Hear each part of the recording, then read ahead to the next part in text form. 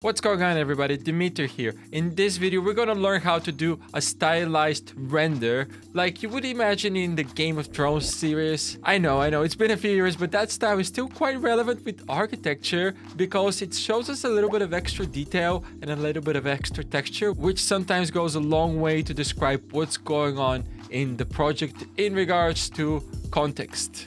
So here's the final result that we work with. Let's start building this again from scratch. I'm going to create a new file first off with the OSM add-on. I'm going to import the default one and the default one is New York. Now, depending whether you have the free version or the paid version, there's a few different settings here. I'll just use 3D Simple and let's click on import. And by default, it imports Midtown Manhattan with the Empire State Building being in the center. All right, so it's imported, it's, it's large, it's metric units, so the whole Midtown Manhattan is a kilometer by 500 meters. So we need to change our camera settings a little bit. If we use 3000 meters and let's change the clip start to something like one. Great. Now let's select all the objects and press shift Q if you have material utilities add-on enabled and then click on remove all material slots. So we want to remove all the materials. So we're just left with blank. For rendering settings, set up cycles. For the world, let's use a sky texture plugged into a background and change the rotation to 220 degrees. Now let's go to viewport preview. Let's add a plane. This will be our ground plane. So we want to make it large enough that encompasses everything. I'm noticing some elements because they're curves, their material is not being erased. So we have to do that manually from the OSM map. And let's turn off some things like footways and cycleways. We don't want to render those out and pedestrian. And let's change this to roads just have one that we can call roads. So let's select all of the curve elements and control L and link materials. So now they should all have the roads material. We can test that really easily by going to the object. So now we have our roads object here. Good, so that's the base. This is already looking quite good. You can use that. Um, what's going on here? I think I have two suns. So let's get rid of the actual sun because the only thing we'll be using is the texture. Now remember, this sky texture only works in Cycles. It doesn't work in Eevee.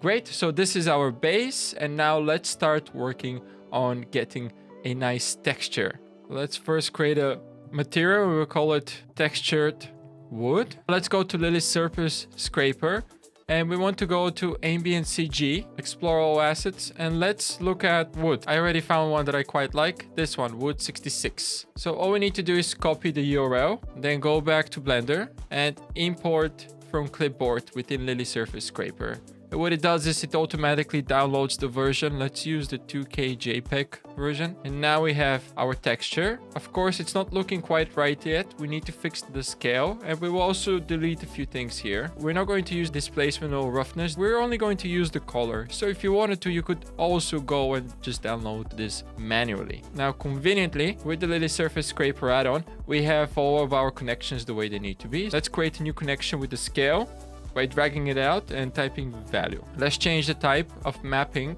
to texture and change this to something like 20. Still not changing because we need to UV unwrap everything. So select everything, go into edit mode, select all by pressing A and then U and then sure UVW box. Now for this to come up, sure UVW box, you have to have the, the magic UV add-on enabled or you can download Sure UVW separately. Great. So now we have the texture wrapped. It's not that nice just yet. So let's play a little bit with the rotation. Let's put 45 for the Z rotation. So now we should have something as an angle. And it would be great to also apply this to the ground plane. So this has an interesting name, which will change to texture. So when we go to our plane, let's rename it to ground and type texture. And now that's looking way off because we have this object scale that's quite large. So let's apply the scale, control A scale, go in it and U, sure UVW box. And now that's probably a little bit too small. So let's scale this object down by 20%. So S and then 0.2. Then apply the scale, go again into edit mode, U, sure UVW box. And now let's scale it out. So now it's a little bit larger, so we can see some of the grain. And that's what we want here. We don't want to make this too refined. Great, so we have our base in here. And as you can see, it's looking like crap at the moment. So let's start making this look and feel a little bit better. The first thing we can do is change the scale. So let's try something a little bit larger, so 30, so we can read a bit more of the grain. That's already looking a bit better. So the secret to making this super good is really with a couple of noise textures, which emphasizes the different facts. So let's add a noise texture, Shift A, search, noise texture. We want to use the same mapping that we have from here, vector. And I would really like to understand what's happening with our noise texture. So I like to plug this in separately into the material output so we get it to look the way we want to get it to look like. So that's the current result. Let's play with the roughness. If we increase the roughness to maybe 2. Now let's increase the detail to 10. And you see right away we have a lot more refinement, a lot more detail. But it's maybe a bit too uniform. So let's add a color ramp. So Shift A, search, color ramp. Plug that in here. And let's play with the dark and the white values. We want to push them out. That's pretty good.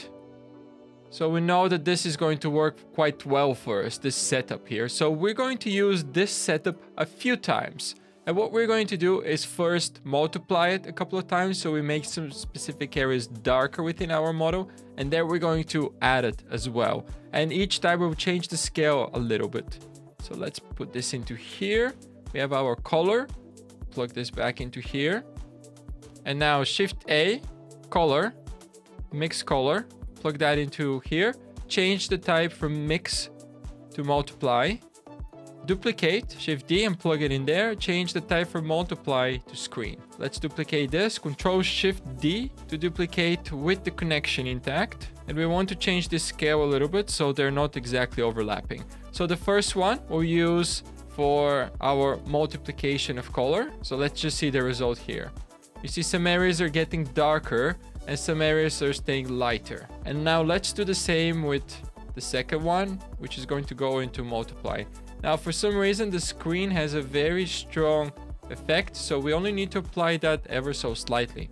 Great, so now let's add another color ramp or duplicate this color ramp, plug it into the result and plug that into roughness. So instead of having a roughness of one, we're going to have the roughness being controlled by the same texture that we have over here.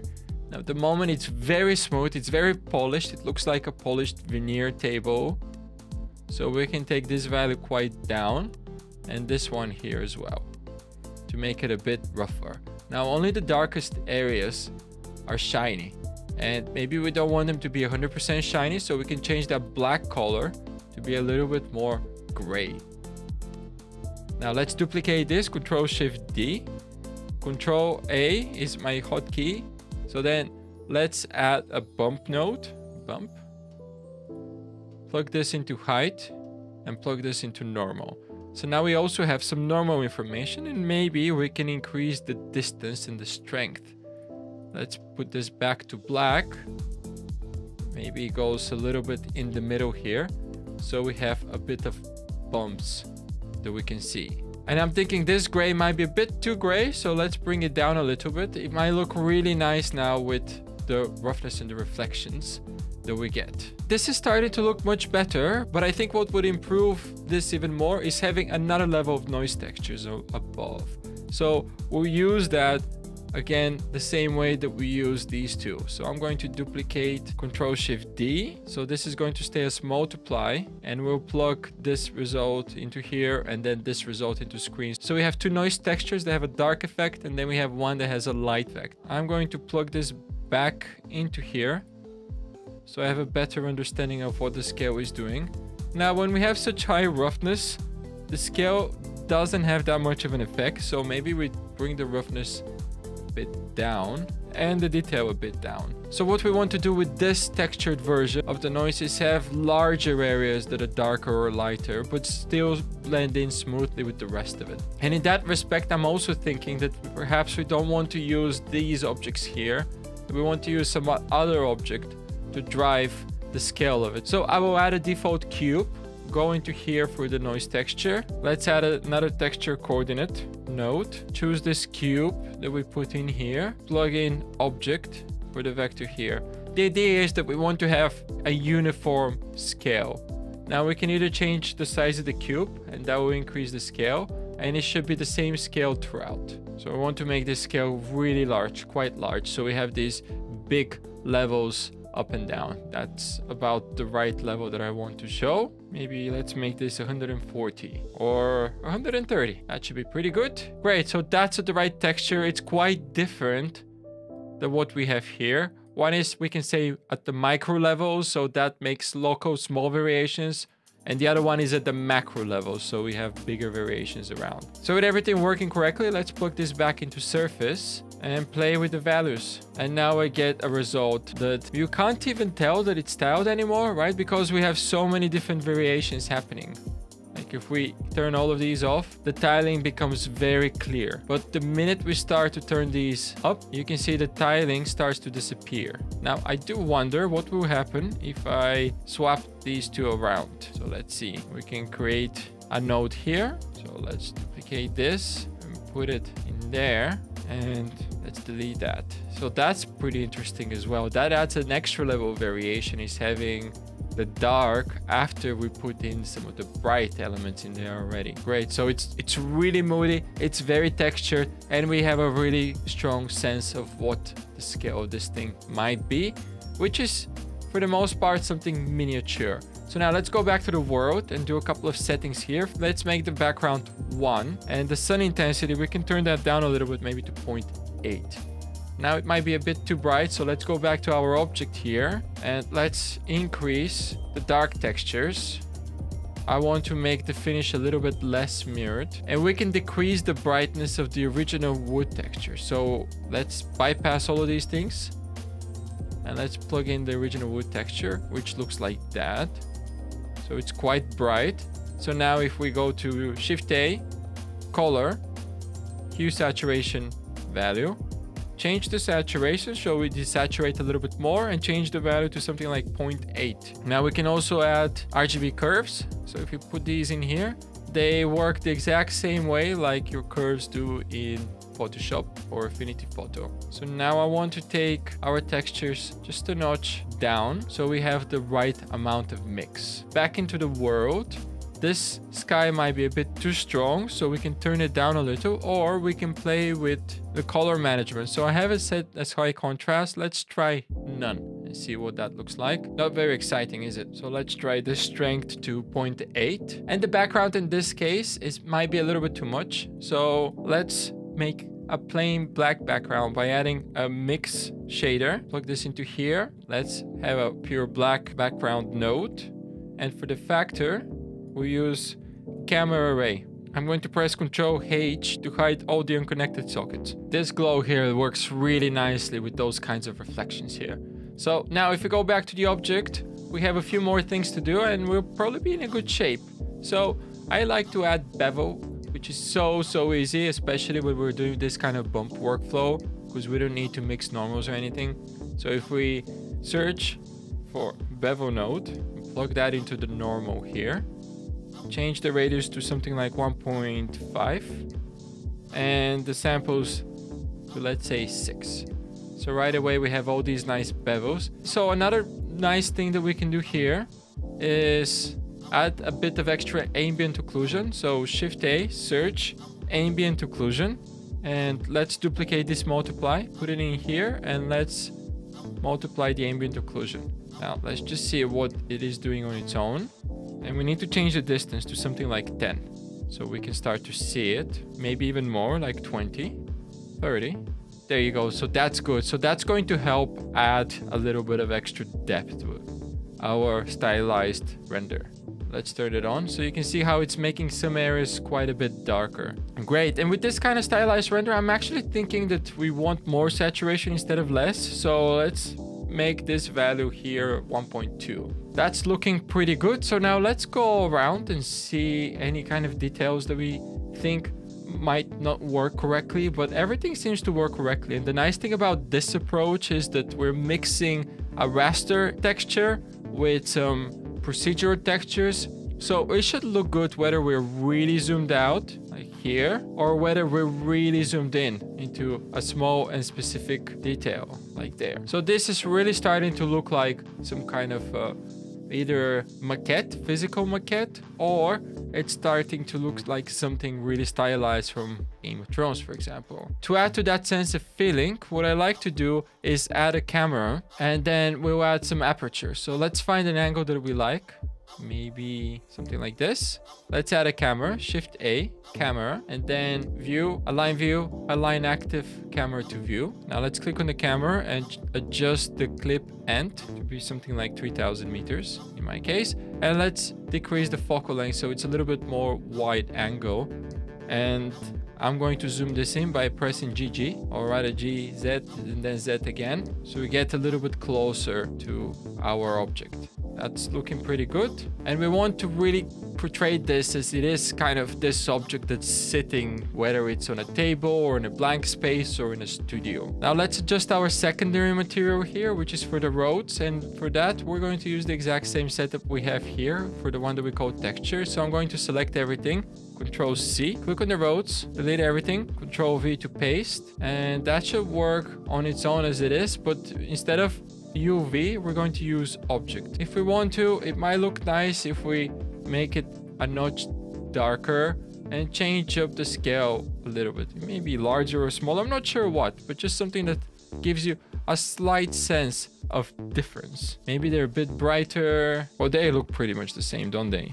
So let's try something that's really dark. Maybe we change some of these scales up and we increase the factor. Yep, that's looking pretty good. Look at that building. What could help now emphasize the fact that we're doing something that's meant to look like a maquette is add some depth of field. So to do that, we'll add a target for the camera. And I think this detail here looks really nice. So let's use that. So shift A, I'm going to use a plane axis empty. Let's increase the size so we can see it a little bit clearer. Go to the camera, enable depth of field, click on the empty for the focus object. And now the aperture has to be really low. We have to emphasize that because this is really far away from the camera, right? So any kind of typical f-stop, even to 1.4, let's try it 1.4, won't add any level of blur. So we have to go to something artificially low. Point, even 0.001, that's starting to show something. So let's try 0.001. Now that's a little bit too much. So let's try point 0.0008. How's that looking? That looks like it's giving us the right level blur. Maybe it's too much. So let's go back to 0.001. Yeah, that's working pretty nice.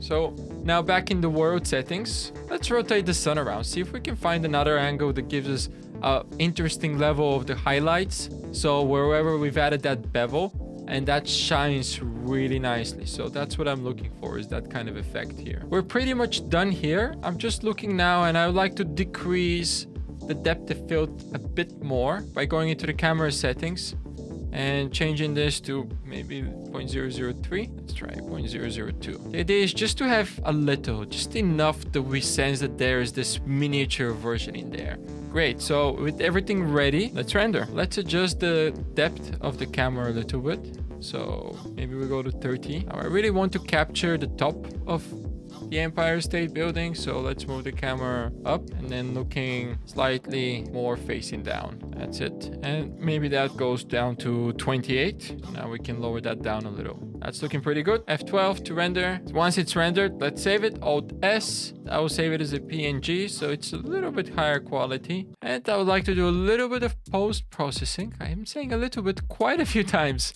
Affinity Photo. Okay, so here's our base. Let's duplicate it with Control J. And the tone mapping, that's my secret weapon, let's say, in uh, Affinity Photo, because it just makes it so easy to get a much, much better looking Im image. Let's turn down the tone compression to zero and increase the local contrast. And this is this is it here. This is my secret weapon. You've got it now. You should be good to go. Local contrast does amazing job every single time. And now we can continue to stylize this a little bit more. So maybe we see a bit more of the lights and the darks. We could turn down the contrast a bit, decrease the saturation, increase the vibrance. These are things that I do to most of my images. Maybe let's increase the brightness a bit more. Uh, you can go with this sort of uh, faded out like photograph look or with something that's a bit in better contrast. I like to go with a slightly faded out look. Let's play with the tonal compression now. That might be a bit too much. So local contrast for this image looks like about 39 might work pretty well. Let's play with the saturation. So minus 20 seems to work quite well. And then let's add a bit of detail refinement. So increase the radius a bit and the amount. And we're good to go. Press apply. So now let's compare. That's the raw output that we got from Blender. And this is with just, as you saw it, a very, very quick post process. Of course, we can take this a bit further and make it look like it's some kind of dirty photograph by going online and looking at dirty textures. Let's pick one. This one is quite nice. It's a weird website. We, you know what? We don't even need that level. Okay, it's done. That's, I guess that's fine.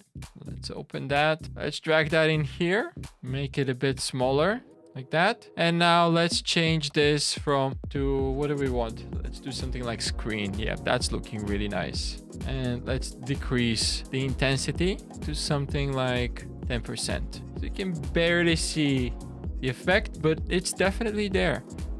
Let's duplicate this, Control J. We're basically doing the same thing that we were doing in Blender with the materials now. So we're changing it up a little bit.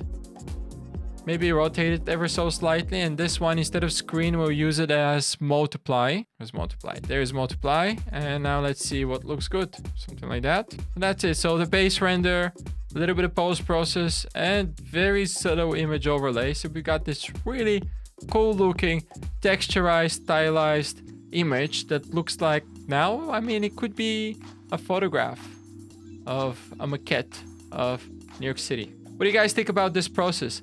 Let me know in the comments. Anything else you would like to see? If you like these kind of videos, make sure you subscribe and hit the like button. It definitely helps me a bit.